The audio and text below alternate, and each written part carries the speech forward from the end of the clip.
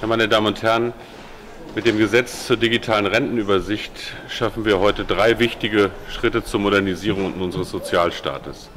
Mit der digitalen Rentenübersicht wird es die Möglichkeit geben, dass die Menschen in Deutschland wissen, was sie verlässlich im Alter zur Verfügung haben. Es wird eine digitale Renteninformation geben, die nicht nur die Ansprüche aus der gesetzlichen Rentenversicherung, sondern auch Ansprüche aus der privaten und der betrieblichen Altersvorsorge transparent macht.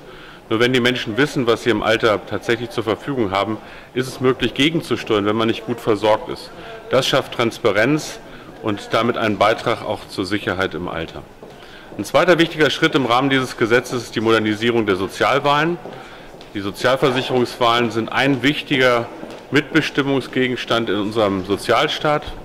Und es ist zukünftig so, dass wir unter anderem eine Frauenquote von mindestens 40 Prozent für die Listen bei den Sozialwahlen vorsehen. Das schafft ein Stück Gleichstellung auch im Bereich der Sozialwahlen neben anderen Elementen. Und last but not least, wir werden den Zugang zur medizinischen Rehabilitation in der Rentenversicherung verbessern und vor allen Dingen auch das Wunsch- und Wahlrecht von Menschen in der Rehabilitation, äh, was ihre Reha-Maßnahmen betrifft, stärken.